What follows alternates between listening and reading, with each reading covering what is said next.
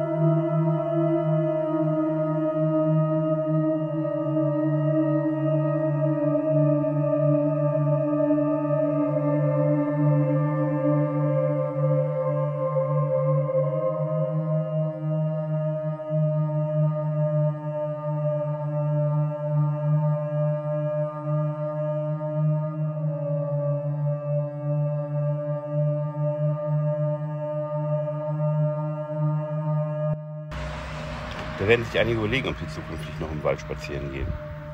Da hilft auch der Hund nichts.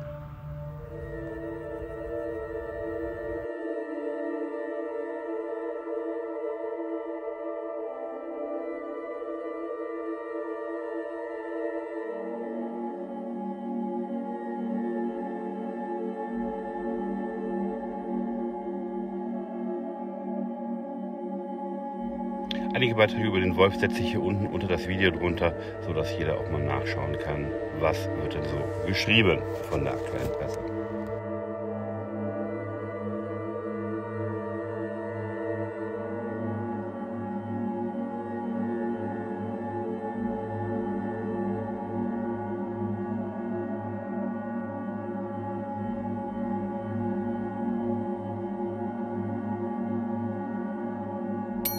Sei auch zukünftig mit dabei. Einfach dem Kanal folgen und nichts verpassen.